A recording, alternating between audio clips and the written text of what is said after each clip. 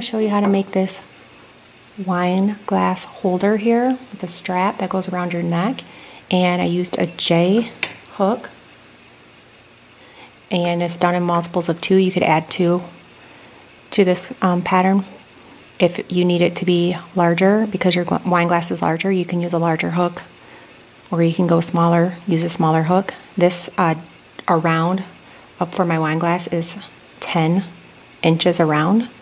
So if yours is smaller or bigger, then you're going to need to adjust the pattern.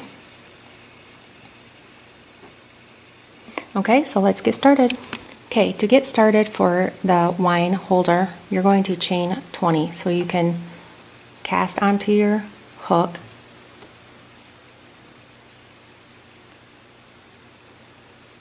and chain 20. Now, if you want to make your wine glass holder bigger, because your wine glass is bigger, you can go up a hook size. This is the J. Or if you want to make it smaller, go down a hook size or so. So you're going to yarn over, pull through the loop, and this is going to be for 20. So go ahead and work that until you've reached 20. Okay, so now you have 20. Slip stitch into that beginning chain. So yarn over, pull through, and then pull through again. Now you're going to start the next round, chain four,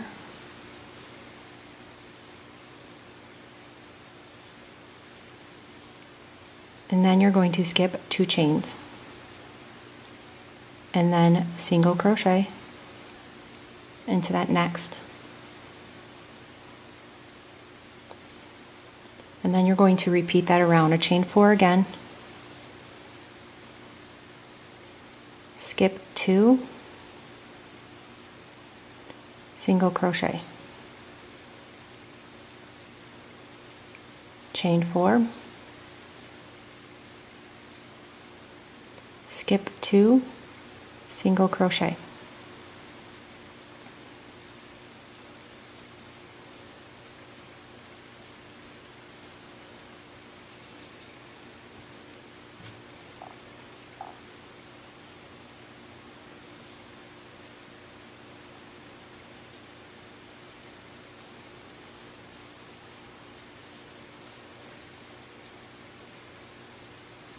Okay, do that all the way until you get to the end here.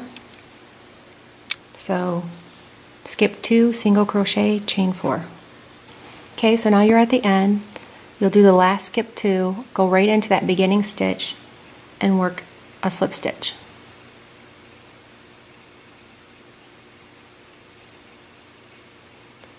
Okay, so now you're going to chain three, and then in this chain space you're going to work a single crochet. Chain three. Single crochet.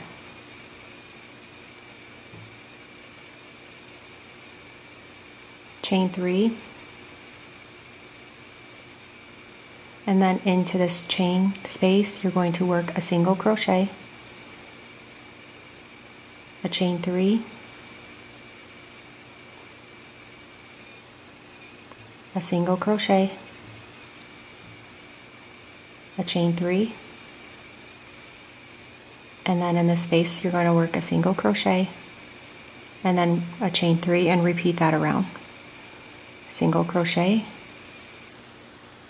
chain three,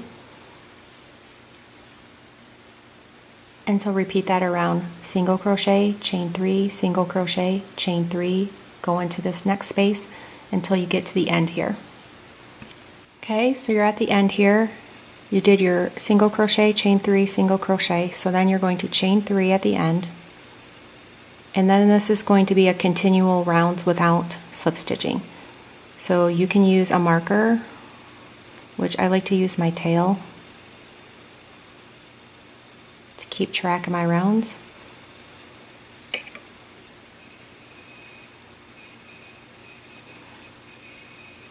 So you have this space here, which is the single crochet chain three, single crochet. So when you do your chain three, you're going to go right into this and repeat the round again, which is going to be a single crochet, a chain three, and then a single crochet in that same space. And then you have your chain three here, but you're going into the single crochet, chain three, single crochet space with a single after you do your chain three. So you'll do a chain three, and you're going to go to the space because you have a chain three, but you want to go into the single, chain three, single. And you're going to repeat by doing a single, a chain three, and a single.